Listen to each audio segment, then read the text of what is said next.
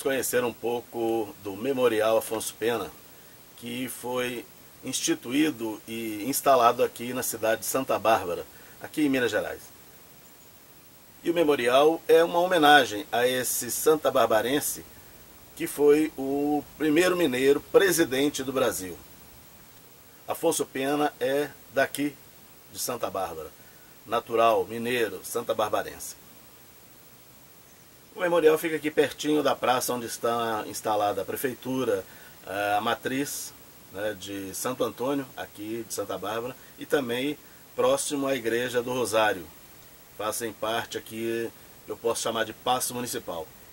Então nessa rua, logo pertinho aqui da, do Passo Municipal, nós temos o Memorial Afonso Pena.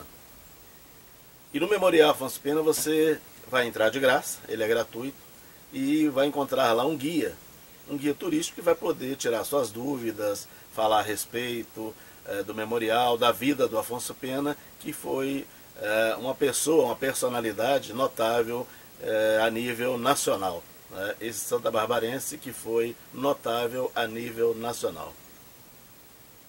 Em breve nós vamos voltar aqui para contar um pouco da história desse grande homem, Afonso Pena, e contar um pouco mais também da história desse memorial, que mostra sobre a vida do Afonso Pena desde criança até o seu falecimento. Acompanhe com a gente aí algumas imagens aqui do memorial e, como eu disse, em breve nós estaremos contando toda essa história para você aqui, nosso companheiro da Índice TV, no projeto Juntando Histórias.